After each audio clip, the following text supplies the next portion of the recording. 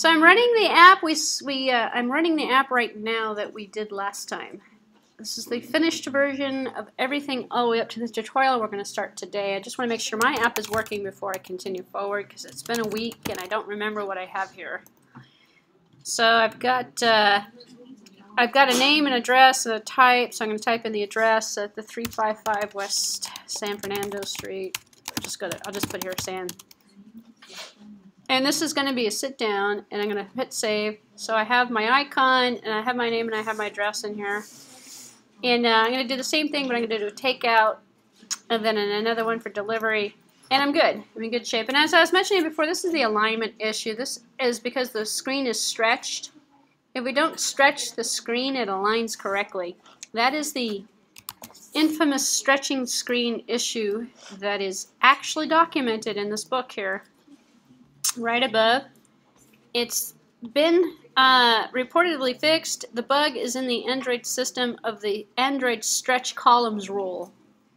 It's because the columns are stretched, the items are being centered. Let's not worry about that now. I'm running it on a 2.3 emulator. If I run it on something higher, I don't see that. I shouldn't see that. The stretching got fixed in like two, like three point something, somewhere above there. But this is this is an, a 2.3 emulator. So this is going to have the problem. We're going to fix the problem though momentarily in the next tutorial, so that's why I'm not really going to worry about it.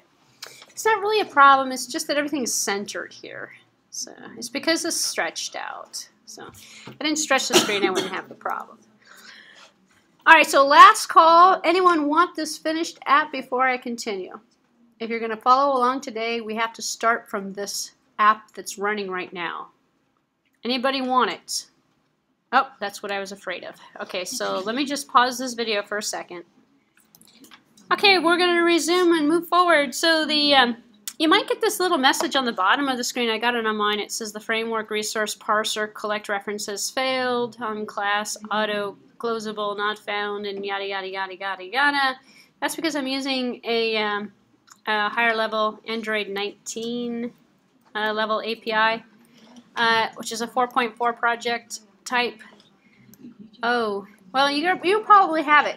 If you're copying my program, you probably have it. If not, if you take and you copy over the USB folder I just gave you a few minutes ago and you don't have that project, or you don't have the SDK, go into the SDK manager and update your SDKs. So, okay, so moving forward, we're now going to put in a couple more features in here. So what we're going to add now is the splitting the tabs. So remember the tab controller? We're going to do a tab controller where we're going to have one whole screen to put in the restaurant names and addresses and then another whole screen to put in the, um, I just want to make sure I was recording, okay good, to put in the, to see the list. So we're going to move, so we're going to move over to the list view. And we're going to put, excuse me, we're going to move the list view onto one tab and we'll have the form onto the other tab. Um, and so we're going to follow these step-by-step -step instructions here. So we're going to rework the layout first. So we're going to remove the relative layout tag and the attributes associated with it, and we're going to add a host, a tab host, and a tab widget, and a frame layout uh, to the ladder. So this is the new layout here that is on page 48. To make my life easier, I'm just going to copy and paste the new layout rather than adding the new stuff. Remembering not to copy the first line. If you remember, this is for an older layout format. We don't need the XML, but let's just take a look here and I'll show you what I'm talking about.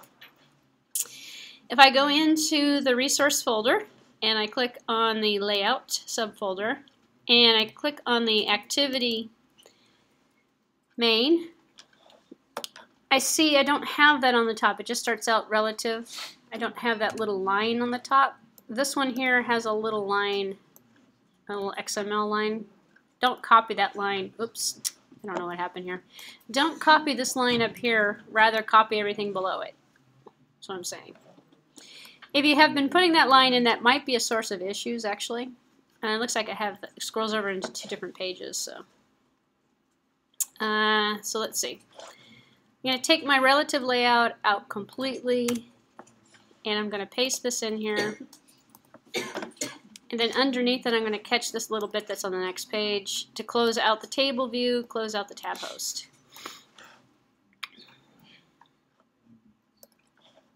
So now what I've done is I have swapped out the relative layout that I had before.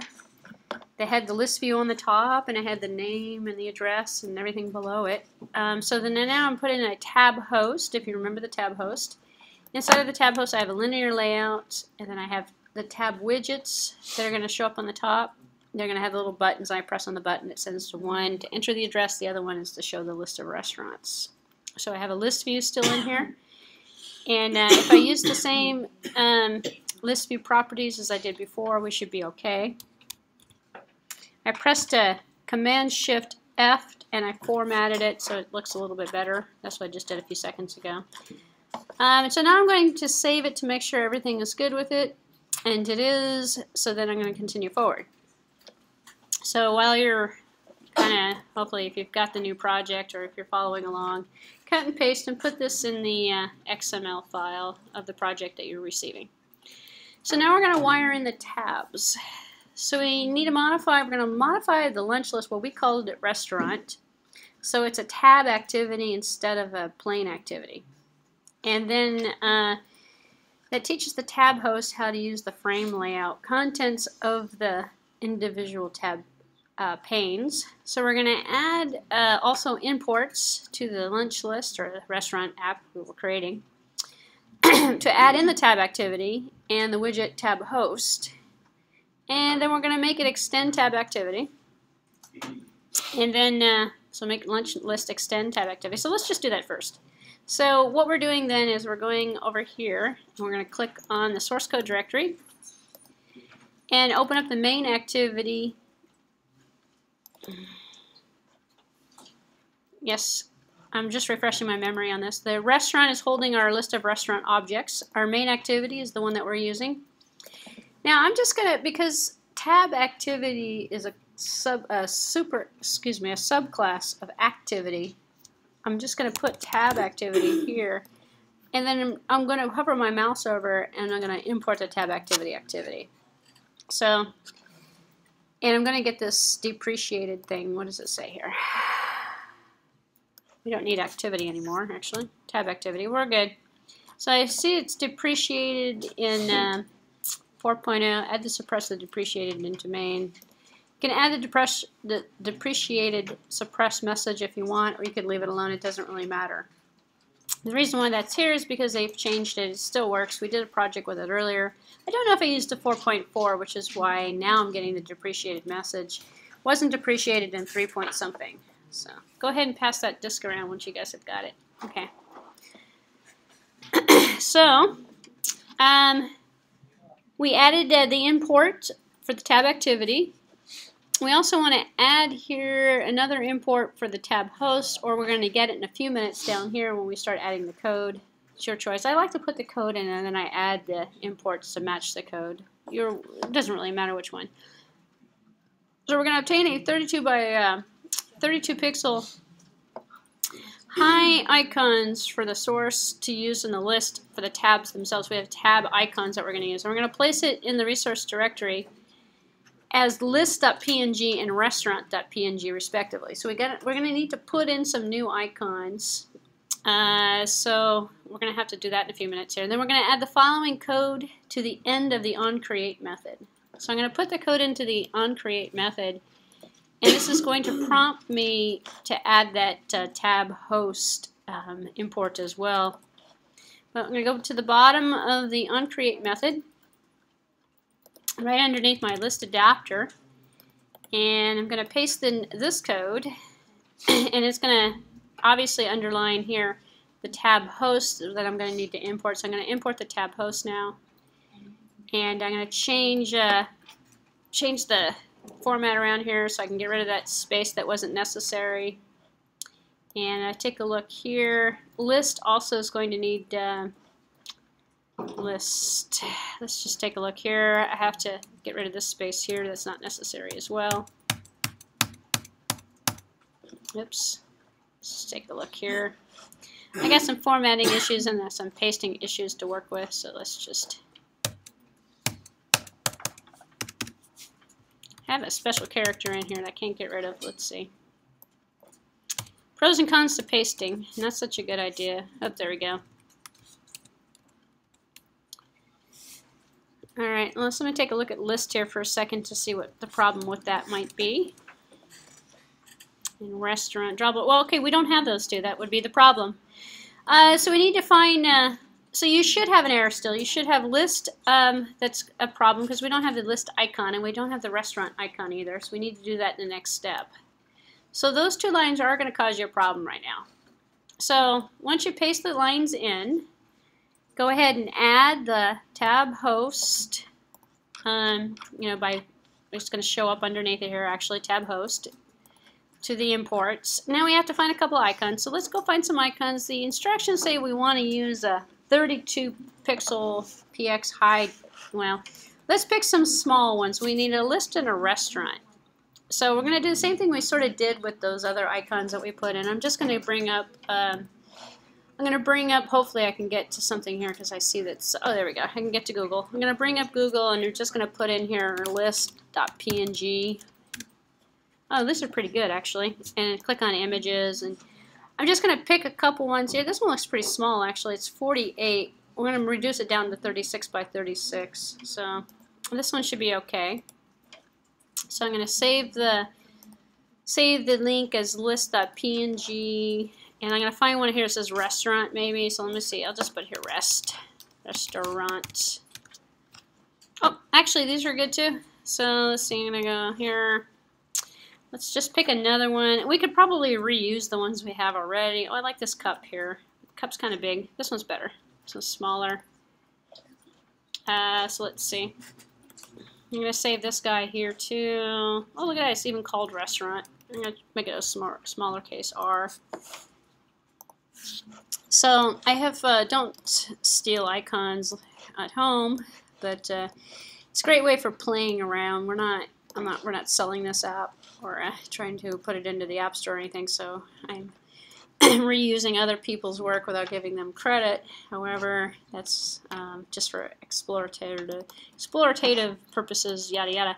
So go into Tools and uh, adjust the size of each one of these little icons. Make them 36 by 36, and they're 36 pixels by 36 pixels. Makes them a little bit smaller. They'll just show up better on the tabs. Uh, so let's see. Uh, so adjust the size here. That one's bigger, 36 by 36. Oops. Now, now they're real small. Anybody want these two icons? Nope. Okay. Not, you can get them when you get my new project. so, the old, project has a couple icons in it. If you want to reuse those icons, we don't have to reinvent it. So go ahead and drag these into the resource folder. I believe I created a resource folder last time called Drawable, and I figured it wasn't working. Then I put it in Drawable H HDPI. So I'm just going to drag them over here into Drawable. One of them is called Restaurants, and I'm going to copy them in. The other one is called List with a lowercase l. So go ahead, and I'm going to change this one actually and put a lowercase l in here.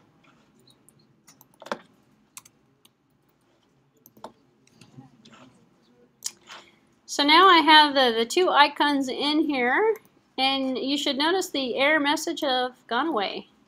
I should not have any more red warning signs at this point.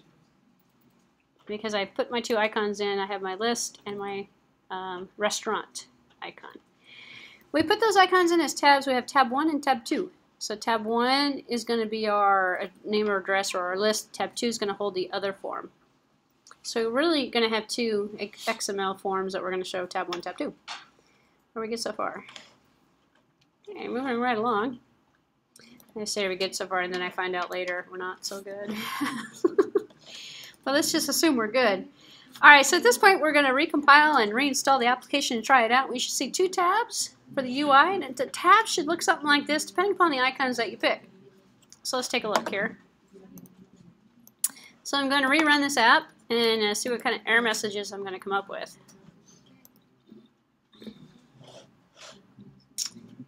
oops, uh, pick this one here. I have list.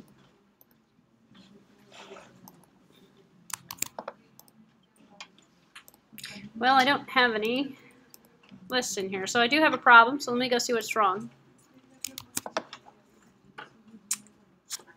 Interesting.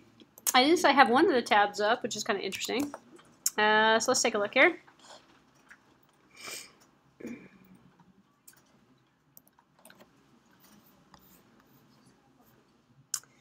Tab host. Well, I probably didn't change the name of the app. It's, uh, let's see. Tab 2. No, that should have worked. Details. Details tab. Current tab.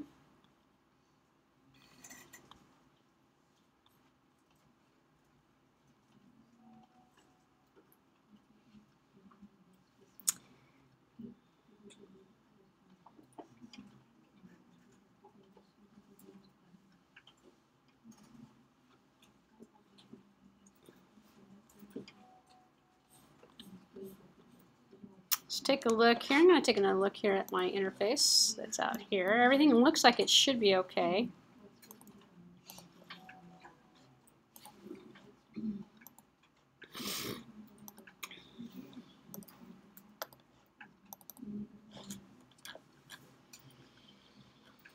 Hmm. Tab host looks good.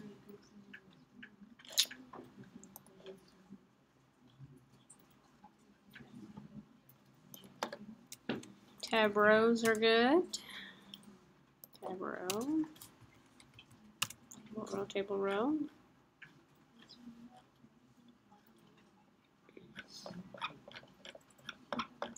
That looks pretty good.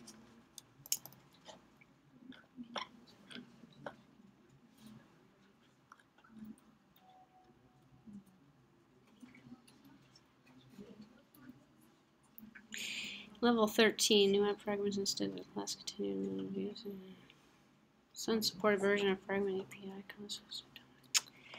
uh, I might have to grant downgrade my app type. Let's just take a look.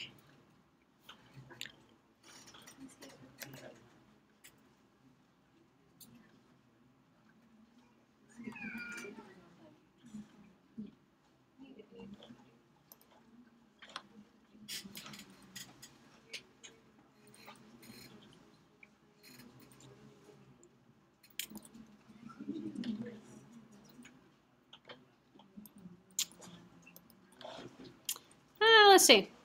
Let try something else. Let me pause this for a second. Alright, I probably should be recording this. I paused it and I shouldn't have. Uh, so what I just did a few minutes ago for anyone who's watching this is uh, I took, I went, clicked on restaurant. Let me do it again because I know some people probably haven't figured this out yet. Go into project, go into properties. I'm downgrading the app. It was 4.4. The tab host controller is depreciated. I believe is probably causing a problem, but just as a testing measure because everything should be working, I'm downgrading the app down to 2.33. When I do that, if you collapse the folder and then expand it back out, you're going to get two error messages. If you don't get error messages, then anticipate them ahead of time and just delete values V11 and values V14. We don't need them. They are part of the 4.4 API. So go ahead and just delete these two folders.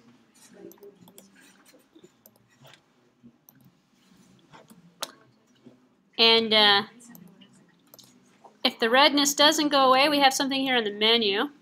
And it doesn't like the main menu either. Let's just take a look. We're not even using the menu, so we can probably just delete the menu as well. So I'm going to delete the menu because we're not using the menu for this project. So now my little error messages have gone away. So, yes?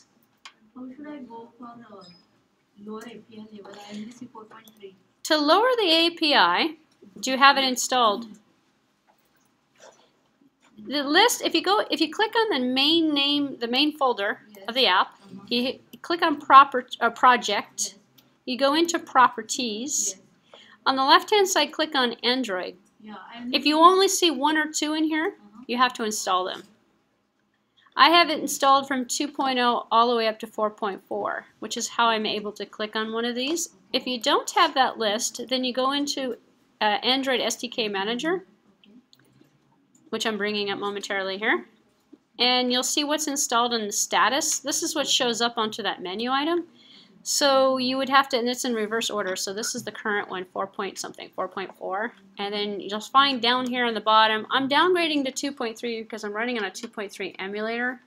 And I'm using a tab host controller from a tutorial from 2.3. So my best luck of getting this to work is to depreciate the depreciate the um, library down to what it's supposed to be, which is how I'm thinking I'm going to troubleshoot this problem, or how I'm attempting to troubleshoot this problem. I still don't know if it works yet. So I'm going to find out momentarily here. So I'm closing these windows. I feel like that, um, you know, the guy who wrestles the, the I still don't know if it's going to work, the, the, the the, the alligators, you know, he comes out and says, "Oh, we're going to attempt to attack the." Yeah. So. Oh, did he really die? Well, I hope I don't die while building an Android app, but I'm going to attempt to see. Did he really? Oh. Anyway, bad example. I'm going to see if this works now. By putting my hand up the alligator's mouth, there we go, and I'm going to do a run as Android application. And I'm selecting my 3.37 emulator. And I'm having the same problem. Uh, so let's just take a look here. I'm going to run it fresh, just in case it was, uh, I just want to make sure I have the right one here. I'm going to troubleshoot this momentarily.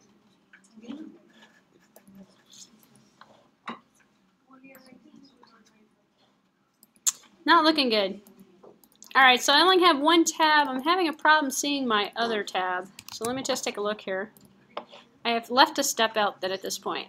But I'm sort of glad I download, downgraded the project, only because now I'm going to be a little bit more consistent, won't have to worry about those messages. So let me just go back for a second here and see what I missed.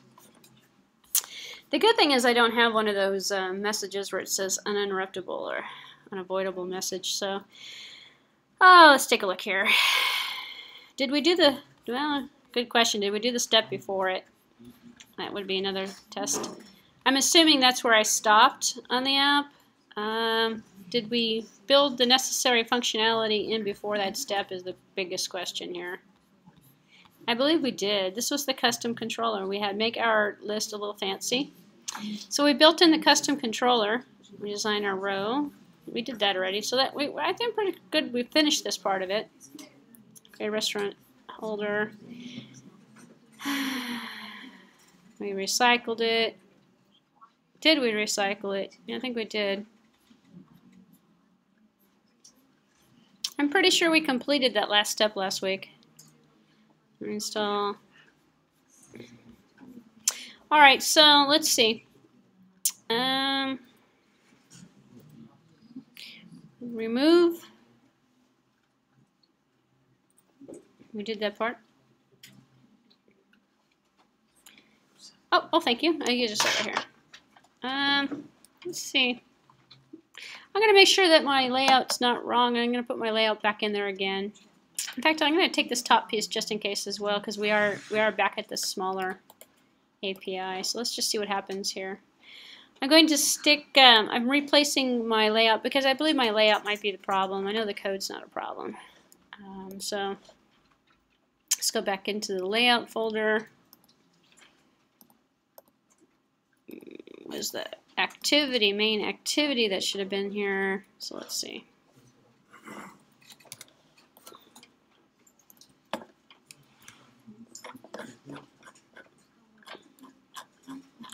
And uh, let's uh, make sure I get that small little part that was on the next page here.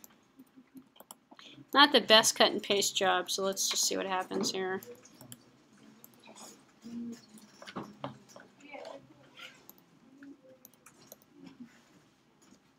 Let me try it one more time now.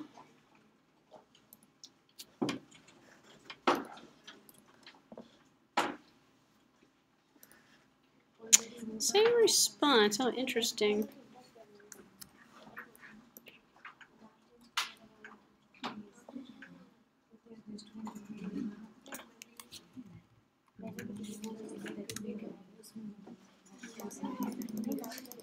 It could be let's see, hold on a second. Let's just take a look here.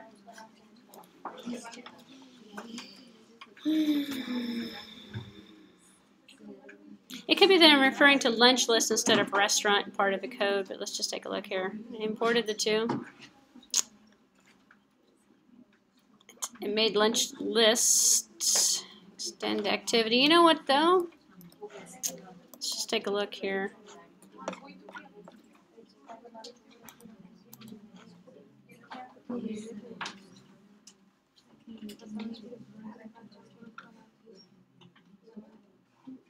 Set the context view.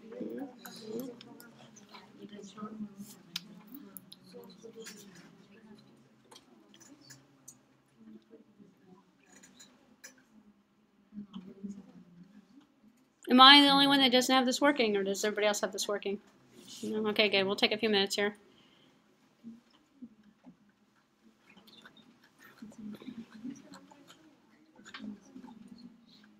We have to have the two tabs showing in order to continue, so let's see. Pause this. Okay, the mystery was solved.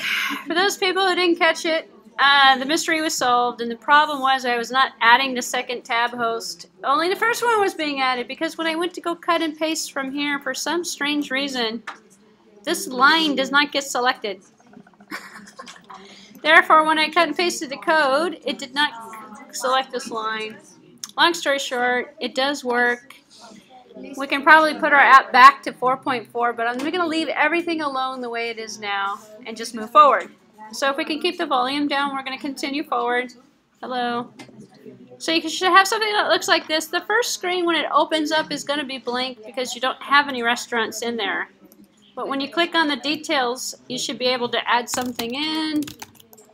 And then when you save it and you click over to the list, it show up, should show up in the list. The functionality should be working. Can I not have to compete with everybody talking? It's okay. All right. it's one of those days. so we got this going on here. Now we're going to get the control on the list events themselves. so when you click on an item in the list, and now I feel like I still got to yell here. When you click on an item in the list, people, something's going to happen. Hello. As I was saying, I should have more online classes. no. Okay, so now we're going to add an import to the widget, and uh, we're going to we're going to we're going to create um, an widget adapter view, and we're going to add it to lunch list, which we're calling restaurant. So we create it with an on-click listener named on-click, uh, on list clicker, on list click blah, so that when we click a restaurant item, something's going to happen because the app is no good just showing a list of restaurants. So when we click it, we can call one of the restaurants to make a reservation, or we can email the restaurant, or we can do something with it.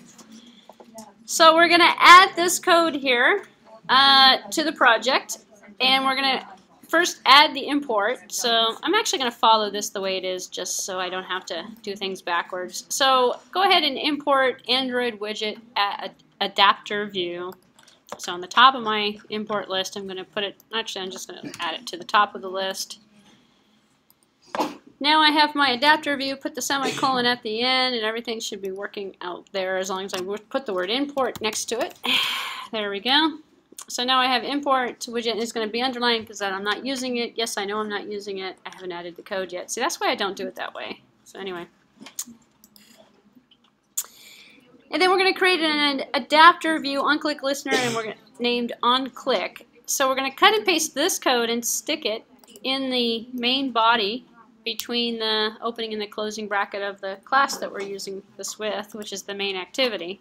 So this appears to all have been selected. Um, so let's go ahead and add it to the class implementation.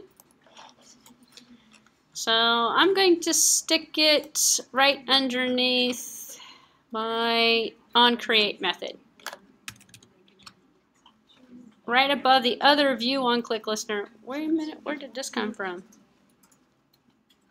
Oh, that's my other, that's the other OnClick listener. So let's see what happened here. I have a little line return that happened from the paste.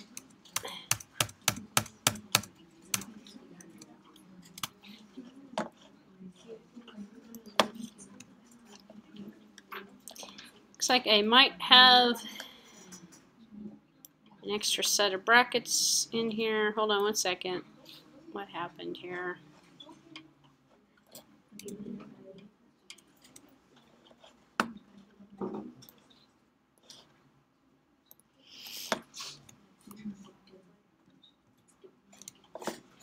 Oh, we do have an opening and closing bracket here.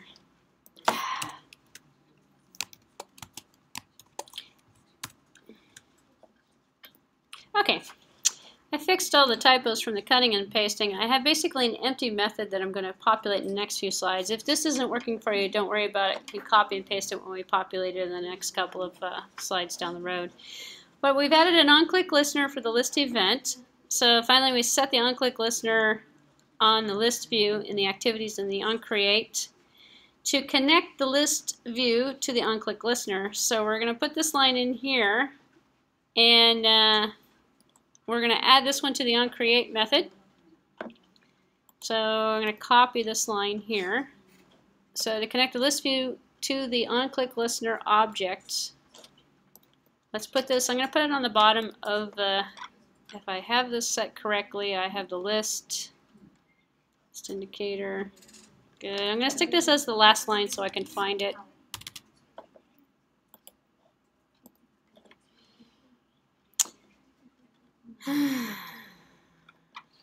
I called it list. Okay, good.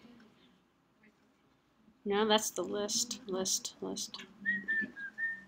List adapter. This was done in the, this was done in the previous week that we actually created the list adapter. Okay, very good. Just refreshing my memory on the code.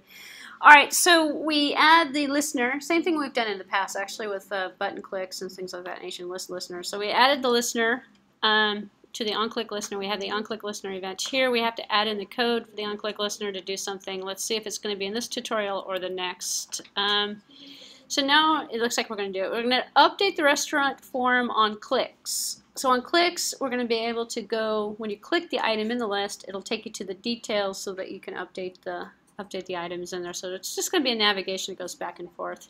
We can easily make it so it calls the contact provider, or excuse me, the contact, excuse me, the call content provider so that we can actually make a call if we wanted to call a restaurant. I believe that's going to be in the next couple of steps down the road. Uh, so now we're going to control the list by each one of the clicks, to do this we're going to need to add two things. First we're going to have the name, the address, and the type variables into the data members to populate the activities in the onCreate menu. So we have to have access to this in the onCreate. So on the current code, uh, we're going to add these as local variables in the onSave listeners objects for the onClick. So we're going to add the following. So cut and paste this. We're now put, filling in the body of the onClick listener which they're not going to give us. Um, so they're not going to redo it. So hopefully you can get this code pasted in correctly. So instead what we got was the shell. You know, we're going to fill in the body of this with the items. So what we have is now going to be a reference to the edit text name, the edit text for the address, and then also the radio types. Because that's all we're basically going to be able to edit, which are the fields that are in there. So put the declarations, and we're setting them to null because they're empty right now this goes into the on-click method. The on-click method is right here, on, uh, on item click. Um, so let's see. Now we're going to add some of the some code after the call to the set context view in on create. So in the set context view, after the set context view, excuse me, in on create, which is way up here on the top. So set context view, we're setting it to the main window, so we're going to add now. And why did we put this? I may have put those declarations in the wrong spot, actually, and I did. I should have put them at the top. So let's move these guys up from here. If I had read ahead, I probably would have realized that. Let's stick them up here. What we really want to do is make them available to the classes and members data members for the class. So let's stick them up here. And then in the onCreate method, let's assign them values from the XML. Same thing that we've been doing before in the past. I'm going to put a little space in here. So those three de declarations, we're not putting them in the onClick, we're putting them up here at the top. So they're members of the main activity class. And then we're populating them here. Hopefully we've gotten this far. and then we're going to add uh, smarts to the on click to the on list click to update the details. So this is the code we're going to stick in the on click listener. This is the part that you can actually just replace what, if you didn't get it to work before, you didn't get the cut and paste to work, you can actually replace it with this entire method. See, this is, I understand why they did in two different steps, but let's see what happens when I highlight this. Seems to highlight okay. So this is the on-click listener. Instead of using this on-click list, oh, this is, wait a minute, let's just make sure it's the adapter. It is the adapter. Yep. I'm just going to replace this one and stick the completed one in here to save a couple steps so I don't have to I don't have to uh, cut and paste the center of the code to stick it in the body of the message. So in the on-click listener, we're finding the position of the list item. It's an array index 0 through how many items we have there. Getting the position of the restaurant. From the position of the restaurant, here which is right here, the formatting is a bit weird, we are going to set the name equal to name dot set text is going to be equal to r dot get name. Remember the setters and the getters we created back last week with the restaurant app. And then the address is going to be equal to the r dot get address. And then if the address is uh, equal to sit down, then we're going to change the radio buttons so that r dot sit down is selected or is checked. So the types dot check is going to be equal to the types dot check is going to equal to r dot id dot set down. Else, or if it's equal to takeout, then it's going to be equal to, maybe I can control shift F this, there we go. It's going to be equal to, the checkbox is going to be checked for takeout, otherwise it's going to be checked for delivery. Hopefully yours pasted okay. We're good. So now when we click on the list items, we're going to set the data appropriate local variables to the variables that are set for the um, restaurant object that we have selected. And now we're going to find the clicked upon restaurant via the pointer position parameter that's at our index. Now we're going to switch tabs to the on click. We're going to switch tabs to the other tab to show the details of the restaurant inserted into the restaurant. So finally, we're going to switch to the details um, by adding an extra line of code to the onClick method of the onClick onClick listener to get host to, to get host dot set current tab 1. So this just changes the current tab to the one that is indexed as 1 which is the second tab because the first tab was zero. At this point we should be able to recompile and run it and see a fully functioning app. Uh, so what do we see at the bottom here? Here, let me make sure I copy this one in actually. And this one is going to go into the method uh, for the on list click. On list click. Bleh. Um,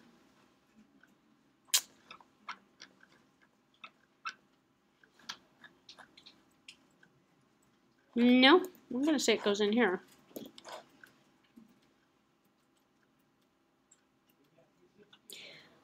In the on item clicked, no, it's going to go in here. It's going to go on the bottom here. On the on item clicked,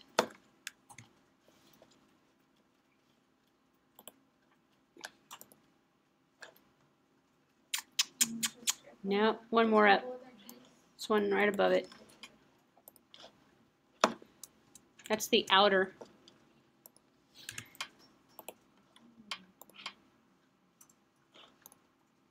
That's the inner.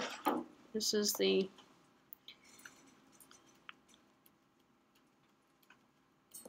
Okay. Yeah. you guys have to double check me today. I'm handicapped. Alright, so let's just take a look at the code here. This is what the finished product looks like. We've got the tab spec in there.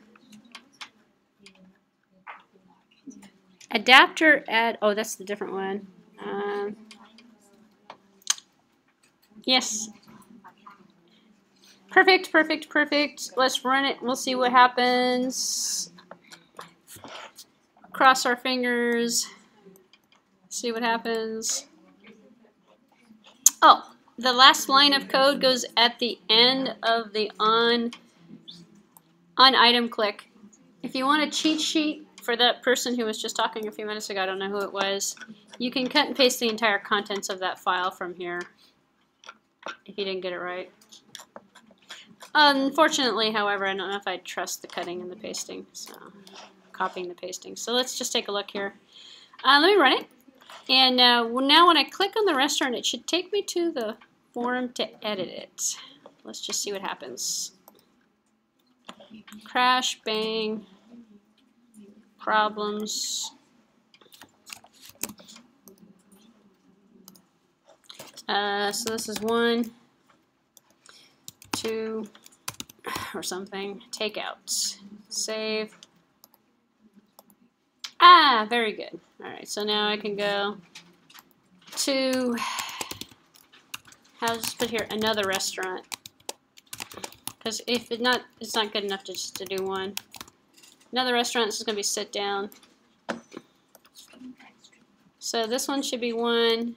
This one should be two. Yep, there we go. Restaurant. Restaurant. Oh, no, I have three of them. Because we're not checking any indexes on them, so we don't know. We're just going to add them. Do we all have working functionality? Or something close to it. We need a few minutes to get working functionality because it moves slow. So let me pause this for a second. Alright, so there, I think we're ready to move on now. Um, menus, menus and messages.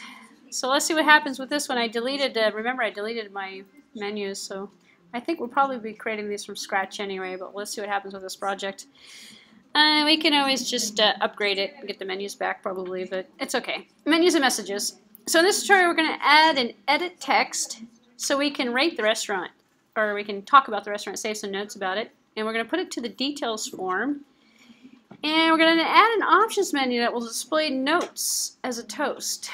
So when we press the options button on the phone, it'll put up a little message for us. So add the notes to the restaurant. So well, first our restaurant model does not have any spot for notes. So we're going to add a string notes and uh, we're gonna plus we're gonna associate setters and getters and resulting class. All right, so let's see if I can do this correctly.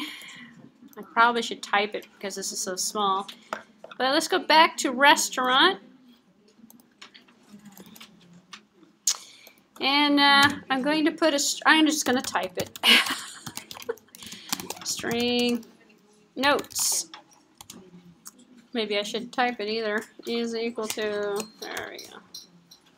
Let's just see. Actually, was that what we're supposed to? Maybe I'll paste it. Yep. Okay, good. We're good with this. So we're gonna keep notes as well as the name and the address. So we're gonna have a get name, we have a set name, get address, set address, get type, set type, get notes, and set notes. So these are the only two we need here. So we're gonna add the two setters and the getters. So last weekend I was doing um, iOS, and I'm like, I want a property. The first thing I kept thinking about is I want to make a property out of this, and then I'll synthesize it. I think that's probably my problem today. I'm still thinking in iOS instead of Android. it's tough going back and forth. Okay, so now I'm gonna pick. Oh, no, I gotta put my Control Alternate F. There we go. I don't have that in the Xcode. Actually, Xcode does have a hotkey for formatting those. Yeah. All right, so now I have this dot notes is going to be equal to notes, and I'm going to take notes in. So I have my setters and my getters. Did we get that far? All I did was add the string and then add the setters and the getters to the class. This is all done in restaurant.java, which is holding onto our restaurant information. So now we're going to add the notes to the detailed form. So we're going to put another box out on the form so that the customer can, or the, the, the person can put some notes in here. And this is going to be on the detailed, on the table row. So we have another XML form if my memory serves me correct. And I saw it earlier, so I know I, I know it's correct. I'm going to go ahead and save uh, the restaurant. I'm going to close out the main activity. I'm going to go down to my layouts and I'm going to think that it's probably going to be on activity main, but let me just double check. Main. So it appears that we're just going to add this to the bottom and it's going to be a table row that's going to be added to the bottom that is going to reflect the notes that we're going to put in there. So to do this, we're going to first add the following table row above the Save button in the table layout. So above the Save button, because it's probably a relative layout and the position is going to be there. So I'm just going to take the first part of this box here, look for the Save button, and put it above. That would require me to actually know where the Save button is. Is it on the bottom? It is on the bottom. So we're going to stick this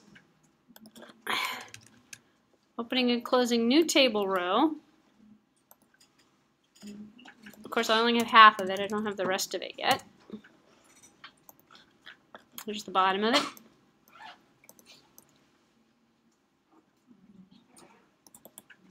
Just wanted to select the text, but I'm getting the whole thing.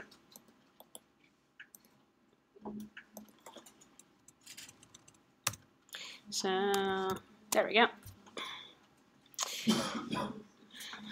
Radio buttons, radio buttons, text, edit text. So now I have the edit text and it's gonna it's ID'd as notes and it's above the save button. Okay. Now we're gonna need to modify the lunch list activity itself which is we're calling it main activity, by adding another data member for the notes edit text widget defined above. To find our edit text widget on the onCreate and add the, basically we need to add it along with the name and the address and save our records to the restaurant in the onSave and restore our notes to the edit text in the onClick listener. So we added another item. The item's going to show up down below where it says notes. So Let's see how it's going to do it. Bummer. It's going to have us do it on our own. so let's go ahead and do it.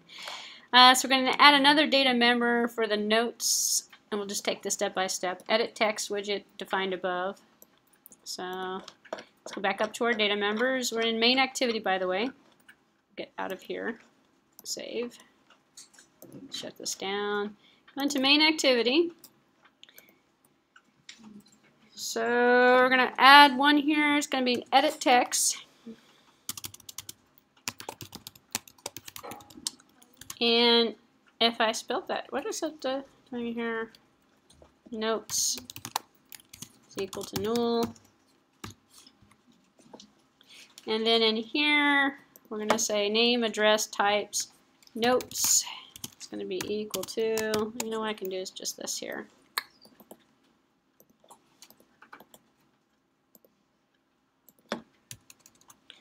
notes. Instead of name, it's notes.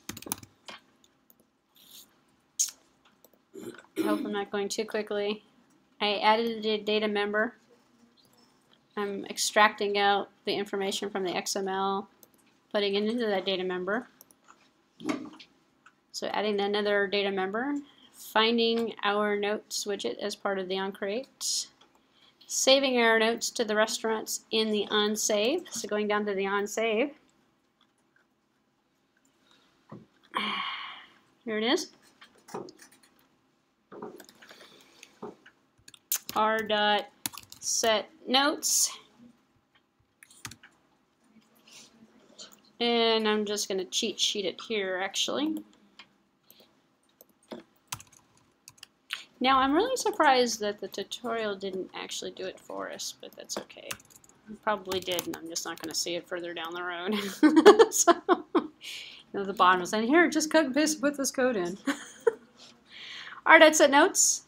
So the save is setting the notes, and it's setting the notes to the get text uh, from notes.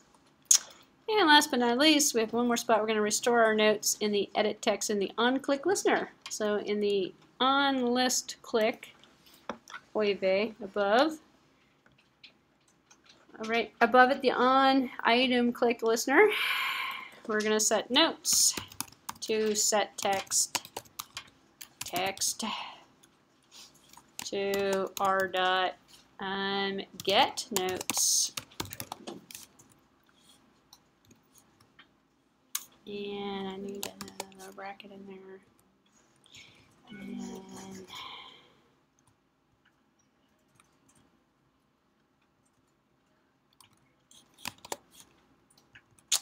Hello. Hello. Okay. Did we all follow that? Okay, you guys are probably faster than me. So at this point we can recompile and install it and see our notes show up. Let's see what happens now. Let's just make sure mine's working.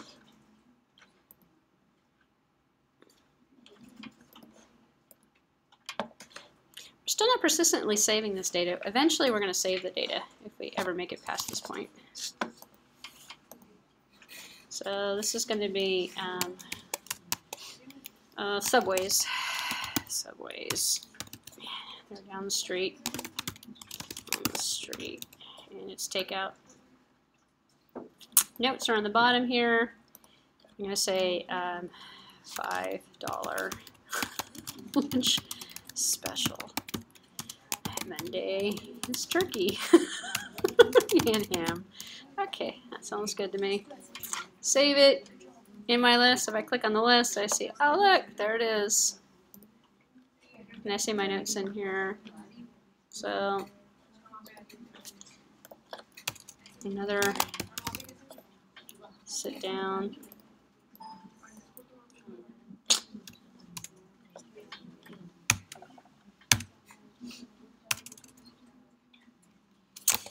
Another note.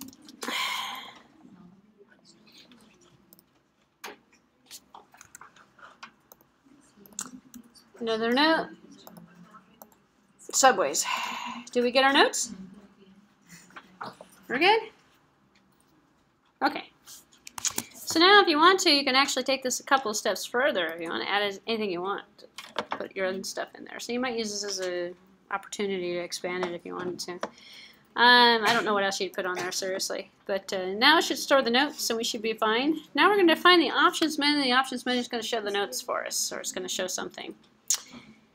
So what we're going to do now is in the menu, we're going to create options.xml.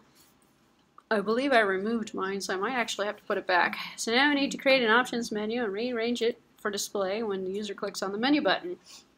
So the menu itself will be defined in a small piece of XML code. Enter the following as lunch. Well, it's going to be resource menu option.xml. Um, so let's see. We have the menu directory, and mine is empty. I think I removed it, so that's no problem. I'll just put it back. So I can go File, New, and this is going to be uh, mm, XML. Uh, Android XML file, that sounds good to me. And resource menu, resource type is a menu. And I'm going to call the menu, I think it's called option. Let's just make a look. Let's just refresh my memory. Options, option, singular, option. Did I spell that right? I think I did. So now, and make sure that, I probably did that too quickly, but make sure the type was set to menu because then you get the menu format. If I look at the XML equivalents to it, it looks like it says menu and that's what makes a menu opening and closing start tag for your XML. So now if I come on here, I can just, famous last words, I can just copy and paste except for not getting the bottom of the menu. So I'm going to have to type menu down here on the bottom. So I'm just actually going to, actually I'm going to leave that menu down there on the bottom and just paste this in here because I wasn't able to get the menu that was on the bottom. So in our menu, oh, wrong one. Where did my preview go? Here it is. The code relies upon an icon stored in drawable toast.png.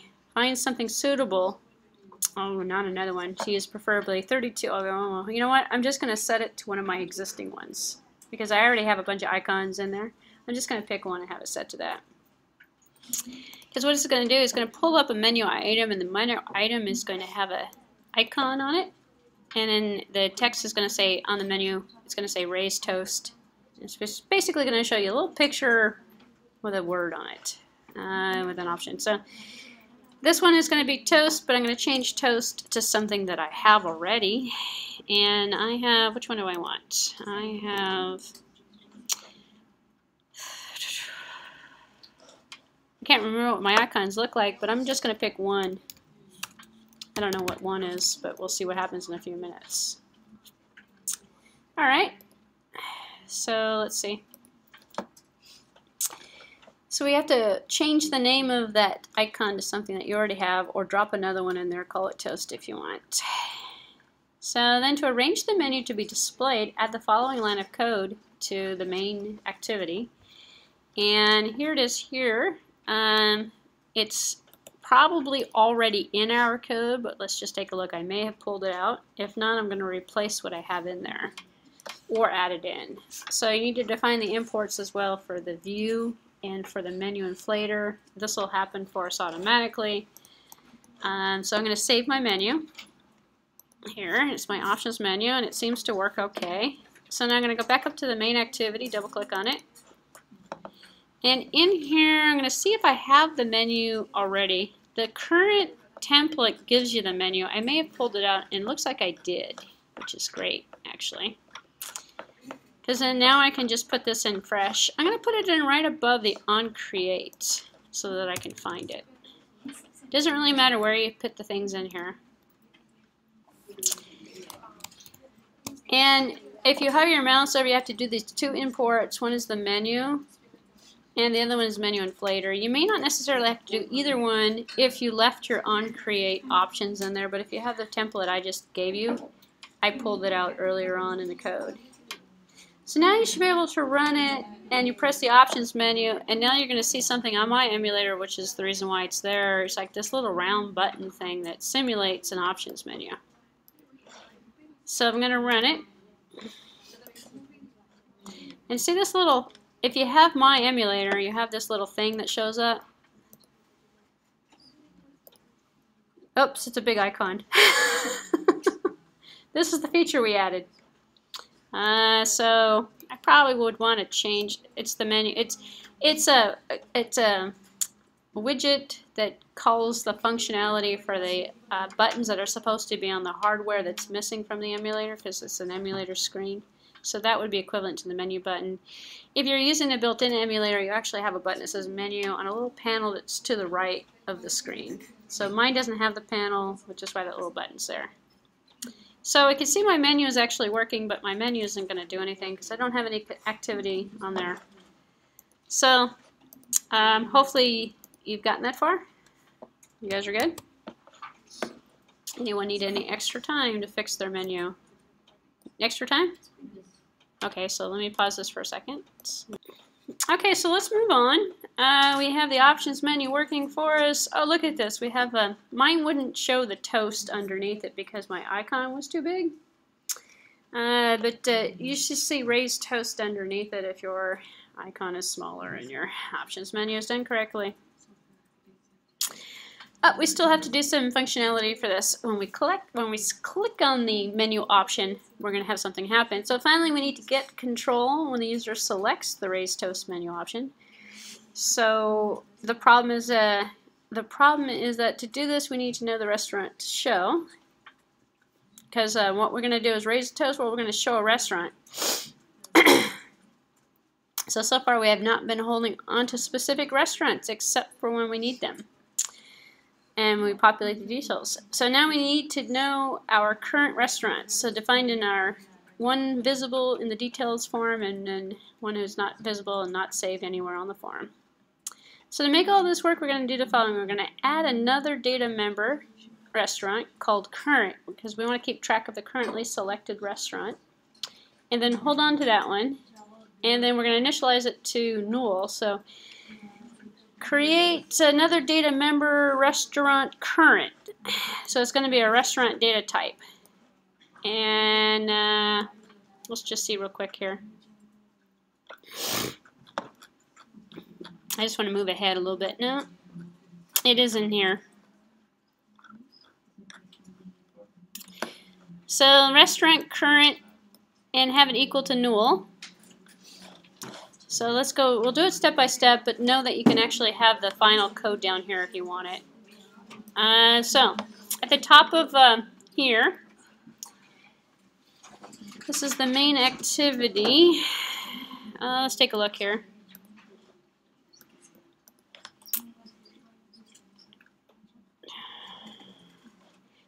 We didn't actually do a. we did the restaurant in the um, in the save button. Okay, so underneath the edit text, new notes, add another restaurant. I mean, add a, add a restaurant current, have it equal to null.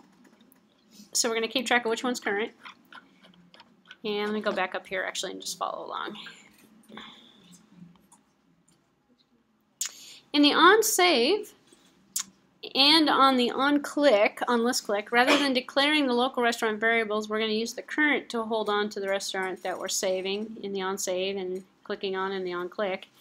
And we'll need to change all the references to the old R variable to the current one in the two objects themselves. We have to add imports for the menu item and for the menu widget toast because we're going to set up a toast message. And then we're going to add the following implementation to the on options item selected.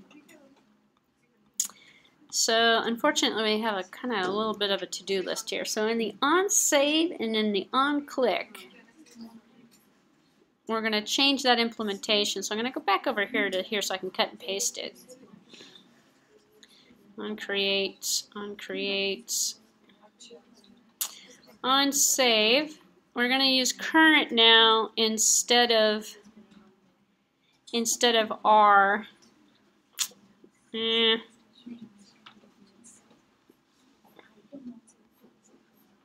I think at this point it would be easier to cut and paste the whole thing out.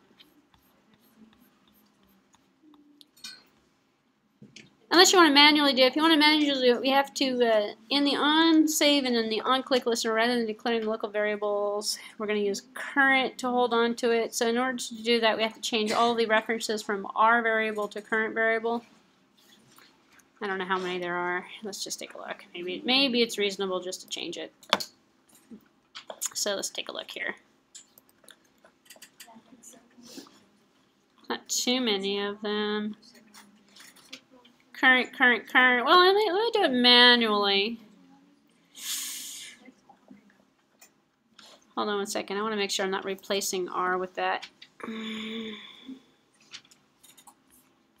Just take a look at the final code for a second.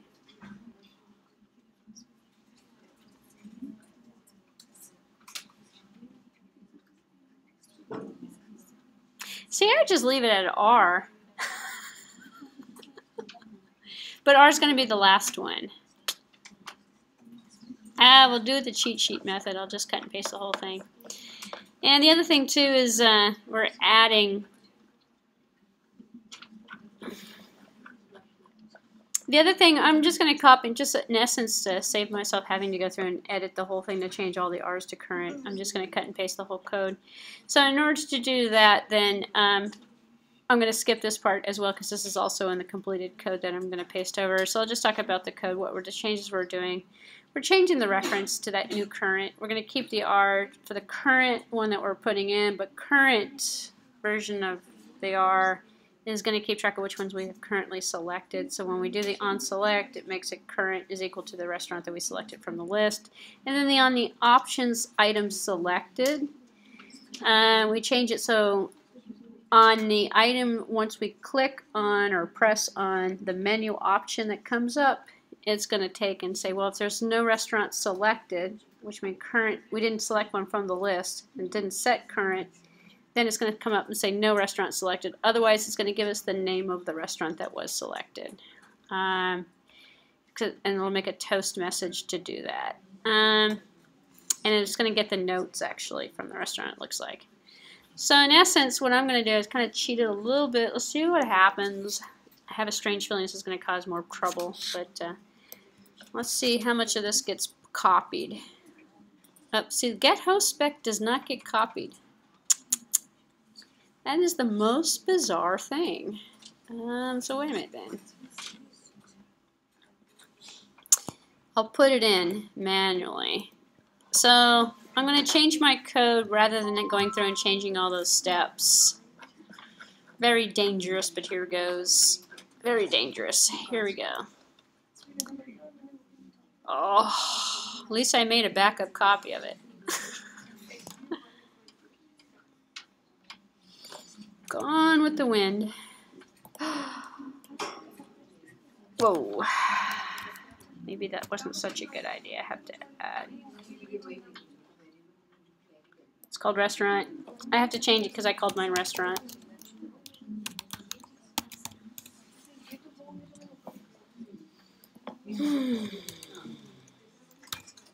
Maybe I should have just made the changes.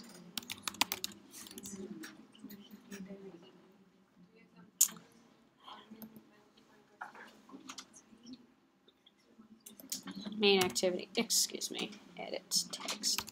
Hold on one second, and main activity.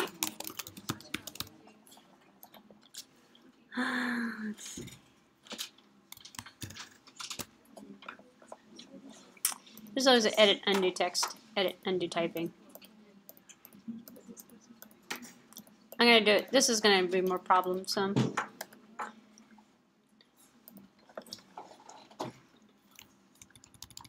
There we go. I'm back.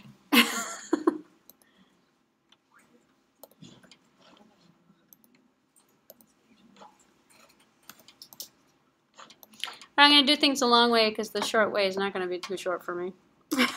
so I put the uh, the restaurant current item in here, so now I have to go down into the on create menu and update that. Or excuse me, the uh, let me go back up here and make it, make note of the changes here.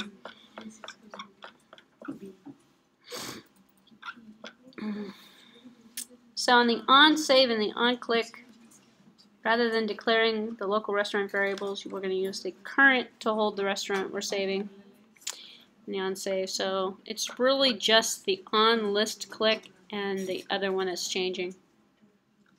On save. So let me do on save first. I can copy the on save actually easily.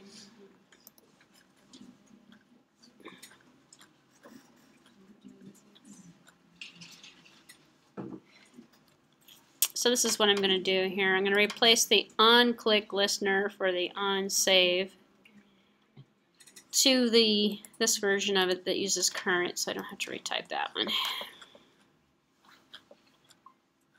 Which is just this method right here.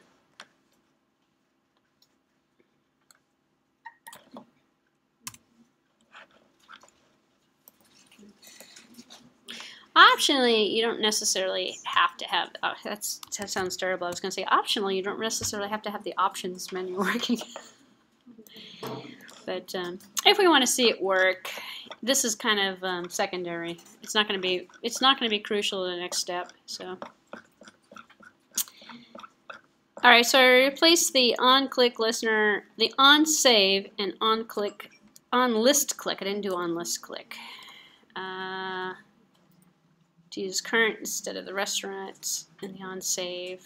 I think I did that actually. Or have clicked on and on click on list click. Actually need to change reference to. Okay, good. So then add the following uh, implementation of the on click listener to on. So we will, I'll replace this one with the on items, on items selected.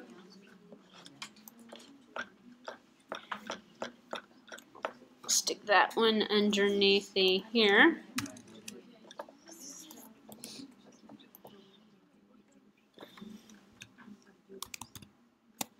And put in menu item and then put in the toast.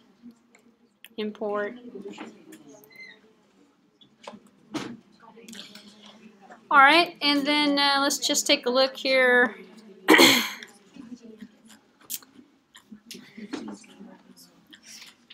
To see what else. I'm just going to visually look at it then. Uh, we had the current.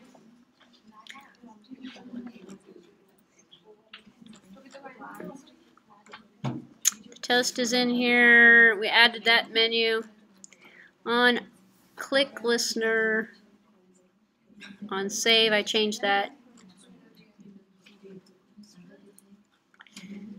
Could change the, let's see, the list adapter.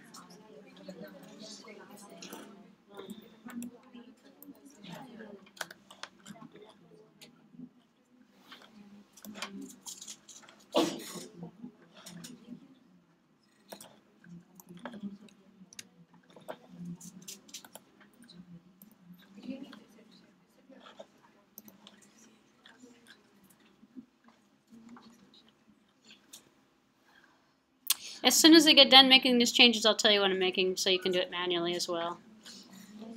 Which is right now. Alright, so here's what I did. Just so you guys have a idea of what needs to be changed. If you don't want to change it, don't worry about it. I could just go ahead and give you my completed project in a few minutes here. Or you can cut and paste all that code and reformat it and fix it, uh, which I thought was too slow. So you added the reference.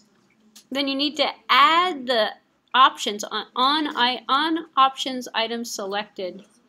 You can cut and paste this one out of the complete project. This is the um, the event that occurs when an item is selected from the options menu. I put it underneath the on create so it would be in the same same kind of vicinity so I could find it easily. And then uh, there's nothing to nothing to change in the on create menu, but rather over here on the on click, I added the current is going to be equal to the model that get position from current so that we can set the current to the position of the item. And then in the on click listener on save, when you save it, it saves the current. So if you save an item or if you select an item from the list, it updates the current so that when you select the options menu, it will show the notes for the current. Um, I believe I've caught all the spots where that needed to be changed. If not, it's an insignificant feature. We don't necessarily have to have it working correctly for us, but let's just see if it's working. Because the next part is going to save it, uh, hmm, let's see, we're going to set it in the background. Hmm, let's see what happens in the next part. So I'm going to go ahead and run it and see what happens when I click on my options menu. And get ready to copy this for you guys in a second.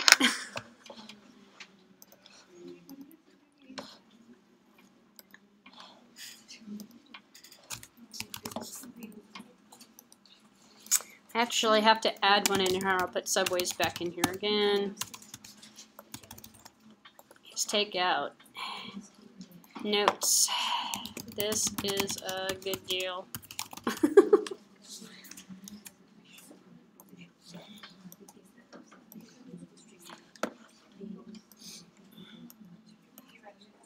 and it works. So if you want a working copy of this, this is working. If you don't want to go through and find all that stuff, I'll just take a few minutes now and give this to you so we can move forward with the next part, and you guys will have a working copy. So let me pause this. For those people who want the restaurant app and don't have it already, I just stuck it out there on my website. So if you go to bhecker.com forward slash ap slash restaurant, restaurant.zip, you should be able to download it. so you don't have to wait for the USB key. So you guys on the left hand side, right hand side of the road, right side, right, right hand side of the classroom over here.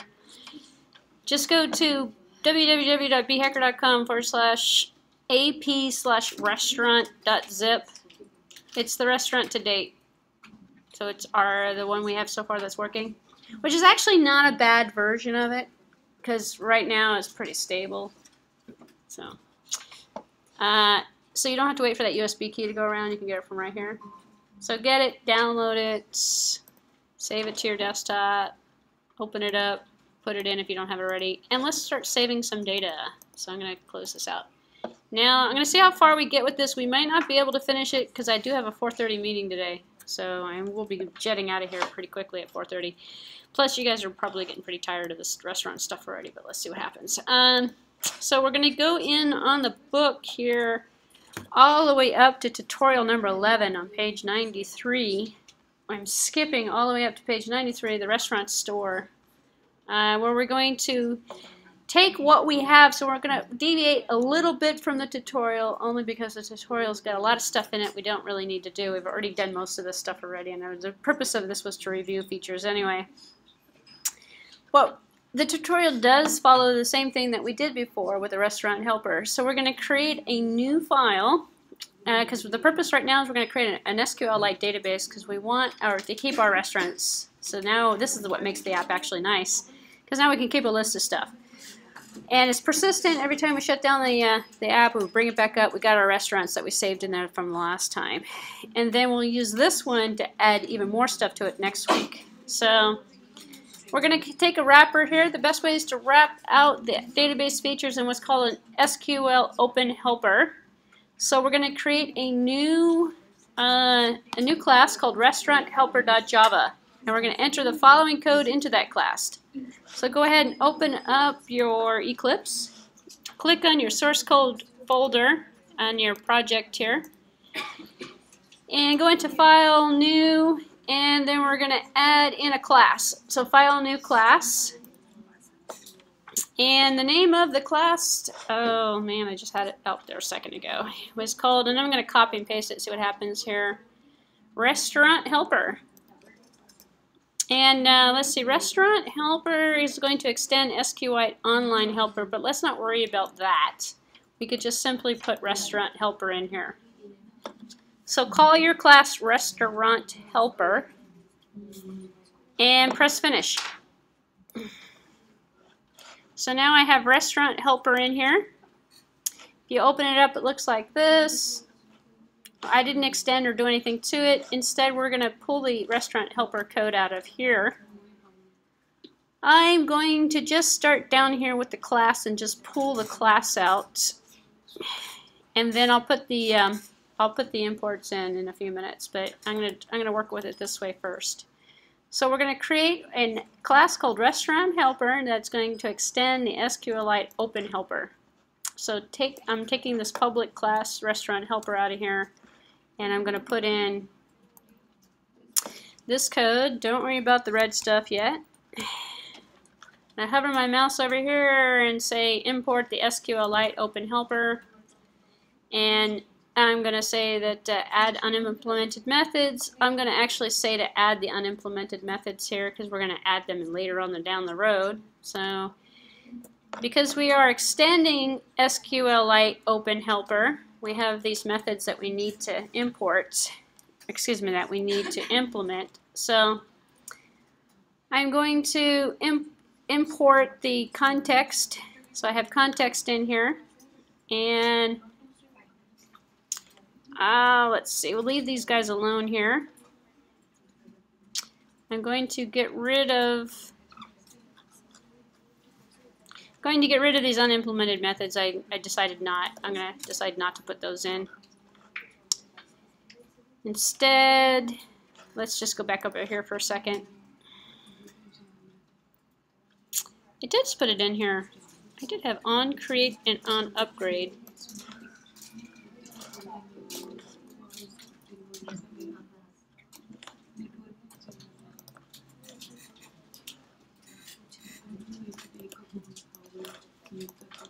Try pasting this in one more time so I can get everything in here that I want.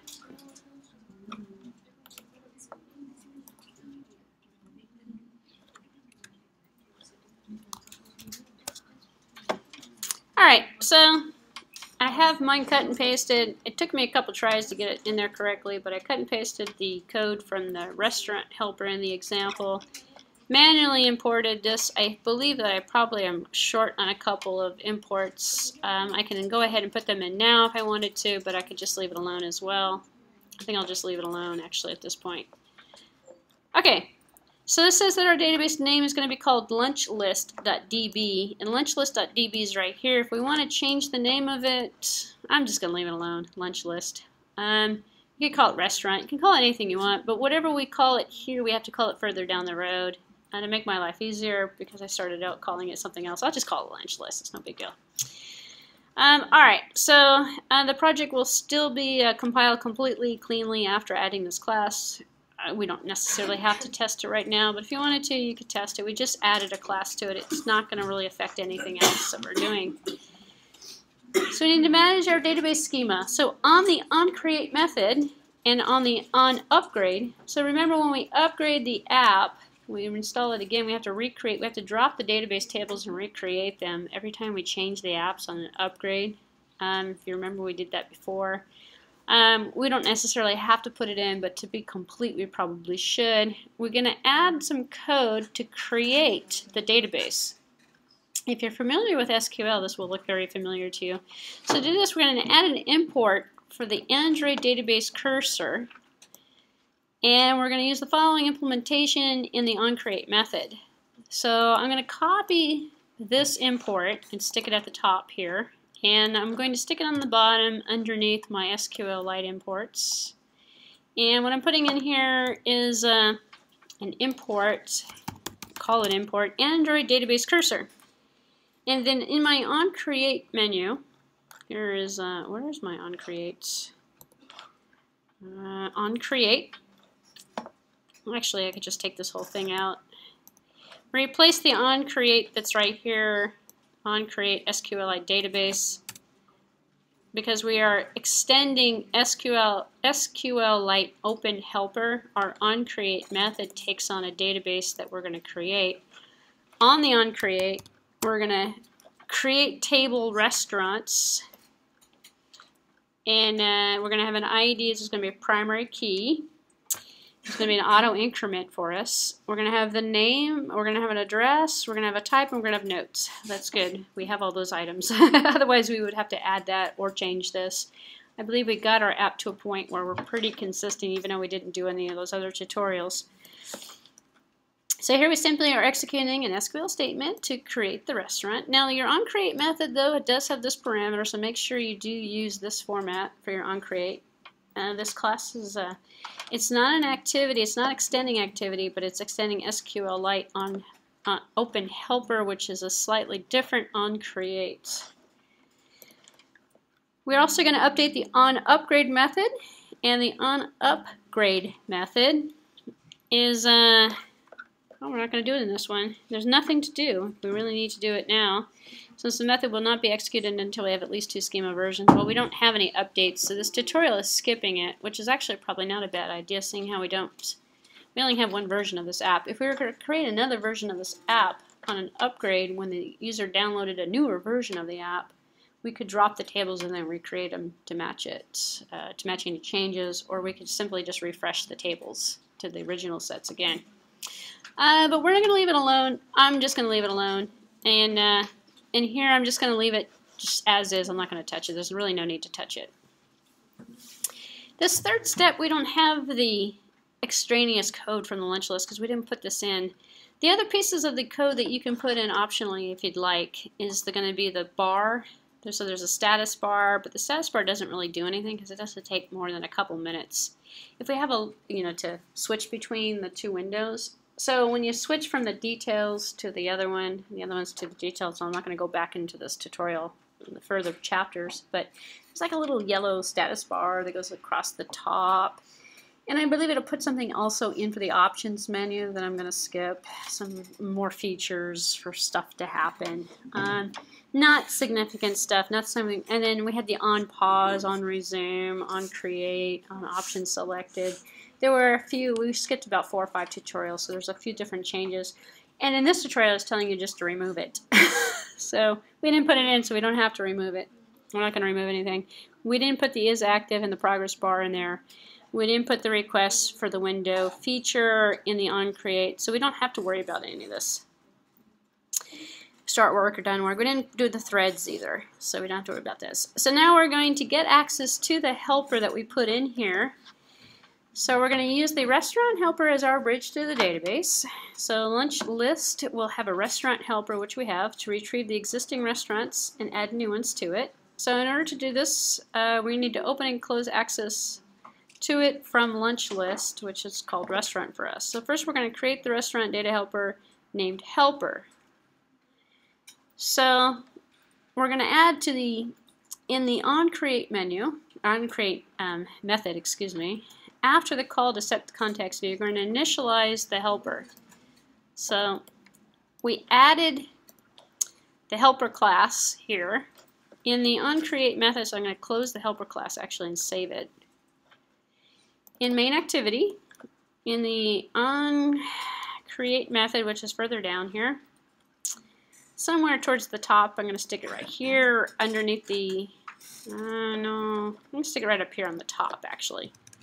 I'll put some spaces down so I remember where I stick it. I'm going to stick it here and it's going to go here and say, well, we don't have a helper uh, because I didn't set the helper yet. So let's go back here for a second.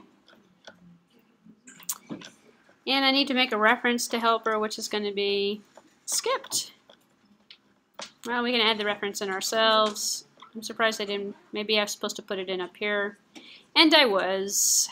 Uh, let's see. No? Let me just check one step. I, I skipped through this, so let me just make sure I didn't leave out the reference they wanted me to put in here.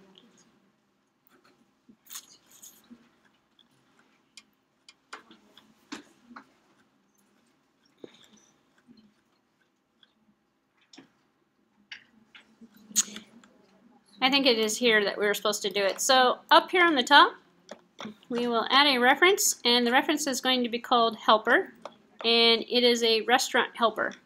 So right underneath here, I'm going to put restaurant helper, if I spell it correctly, restaurant helper, and this is going to be called helper. So I put my reference up here, at the top. And then now my error has gone away because I added the reference here. The instructions did have me do it, I just read through it. First you want to create a restaurant helper data member named helper. We just did that. And then in the onCreate, set the helper to this. So this is the onCreate line we're adding, and then we added our reference up here. So we made it a data member of the class, so it's visible. So now we're going to implement the onDestroy. So on a destroy, it's going to close the database connection. On a destroy when our app is finished. If we don't close the database connection, we create a memory leak. So we have stuff that's open, references that are being used that are not necessarily going to be um, going to be wasteful, uh, basically going to be wasteful. So go ahead and copy this method here, and we're going to add it. I'm going to add it to the bottom bottom of the of the class implementation down here, way at the bottom. And I'm gonna reformat it. So now I have the onDestroy. So super.onDestroy is called and then helper.close. So it's part of the life cycle of the app on the on, on create, on destroy, on pause, on resume. So if you remember from earlier in the course. So besides chaining the superclass, it's going to close the database connection for us. Now we're going to save a restaurant to the database. So we're going to do that by adding a line of code. And uh, the line of code we're going to add is going to be to the restaurant, uh, to insert on the restaurant helper. So we're going to add a method. So we're going to replace our restaurant object model and its associated array with the database and a cursor representing the roster of the restaurants. And we'll be adding some more logic to the restaurant helper to add in the process. Um, I believe this is where we're going to get in trouble if I try to rush it. So here's what I'm going to do. We're going to save and run our restaurant app. Make sure we're still in good shape. And somebody has to tell me we're on step five. Somebody write this down. Um, otherwise, I'm going to have to fish around and find out. Um, here, actually, I can probably just write a note to myself when we're done. Right now, we should be able to save our project. Let's just make sure we're still running first. We should be still in good shape. So let's just check things out. We have the pieces in order. Yes, we are good. Uh,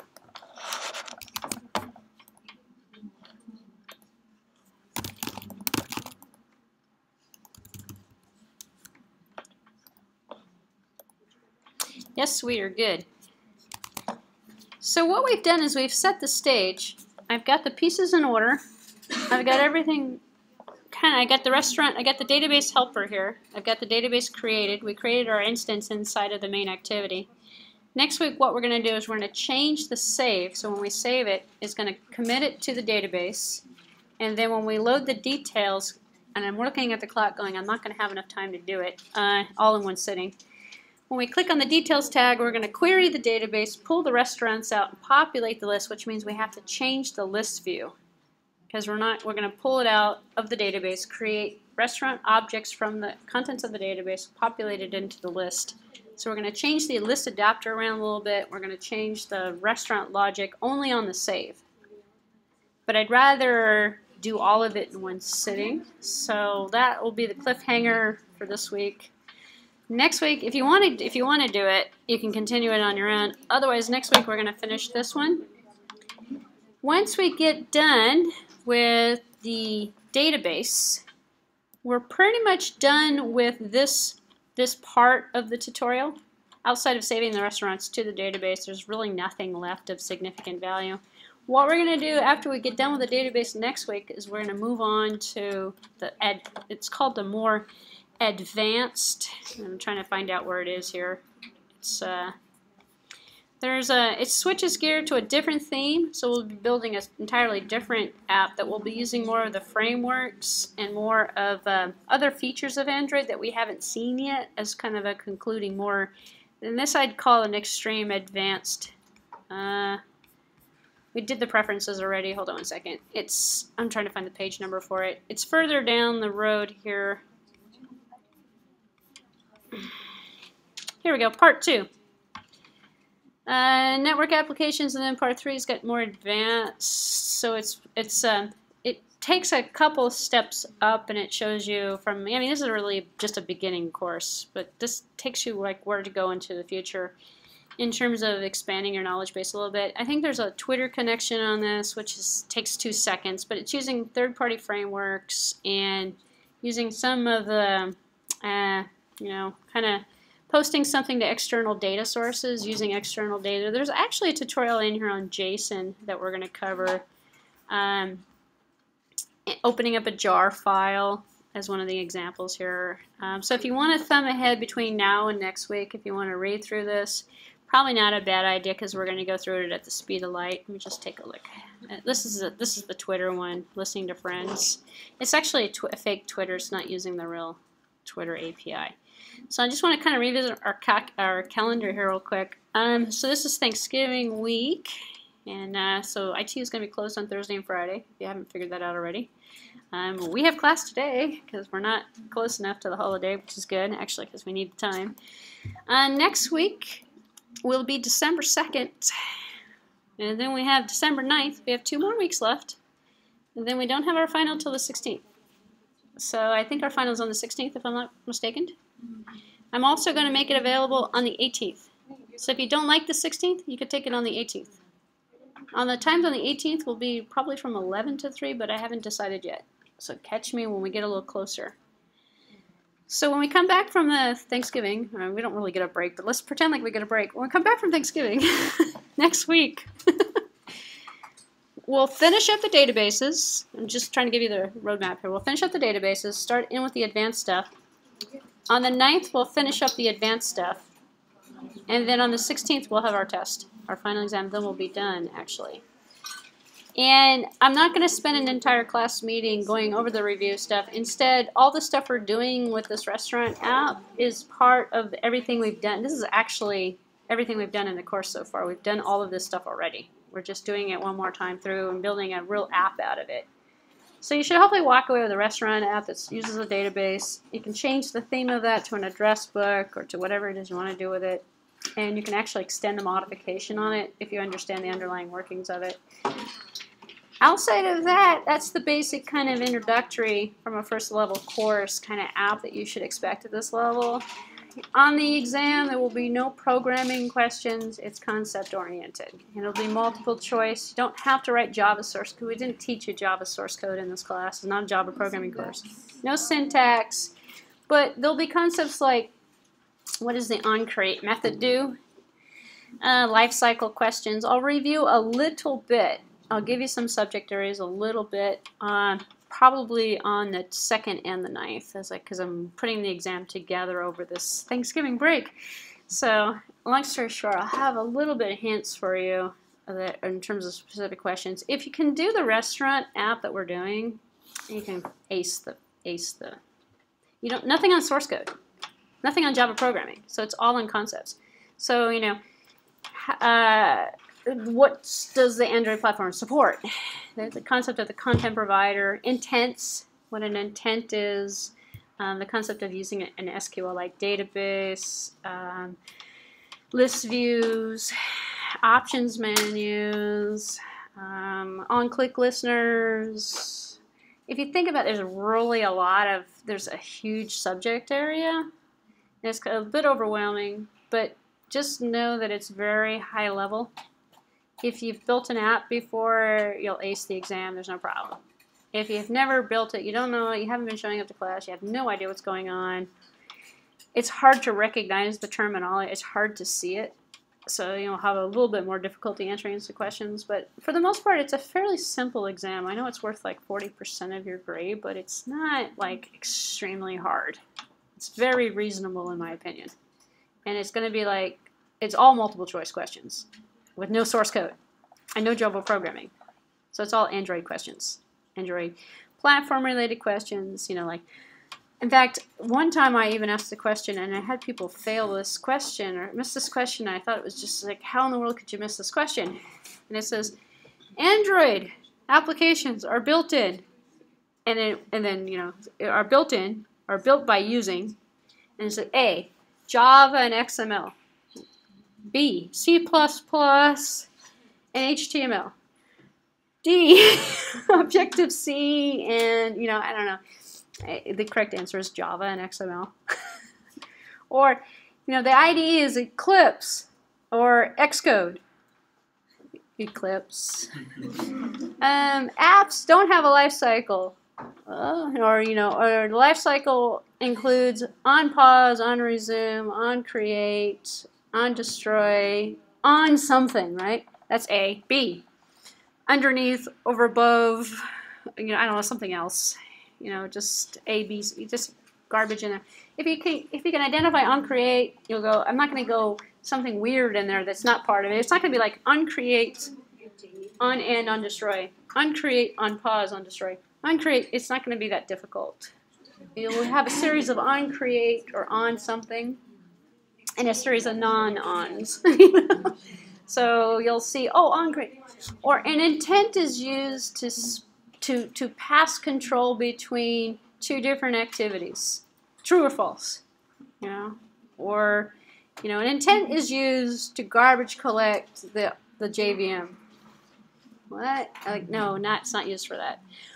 But The Android manifest, you know, is uh, holds onto the permissions for the Android app?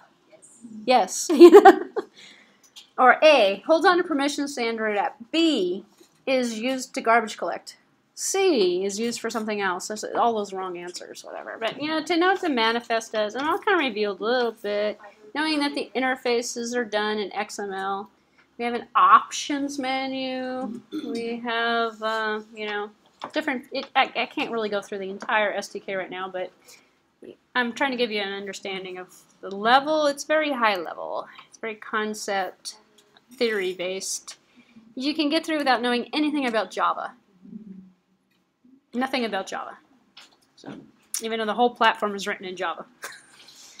Questions, comments, or concerns? I have to make sure I know where I stopped here. Does someone know the page? Actually, what's the page number? 129. 129? Okay, I'll write that down step five.